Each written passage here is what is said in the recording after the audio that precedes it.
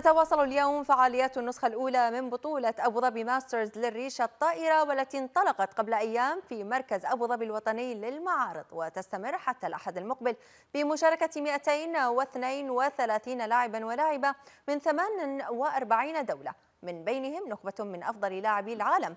وتعتبر أبو ظبي ماسترز التي تضم خمس فئات مختلفة. هي فرد الرجال وفرد السيدات وزوج الرجال وزوج السيدات والزوج المختلط. تعتبر البطولة الوحيدة في الشرق الأوسط ضمن سلسلة البطولات العالمية وهي المحطات أو من المحطات الحاسمة لكسب مزيد من النقاط المؤهلة إلى دورة الألعاب الأولمبية باريس 2024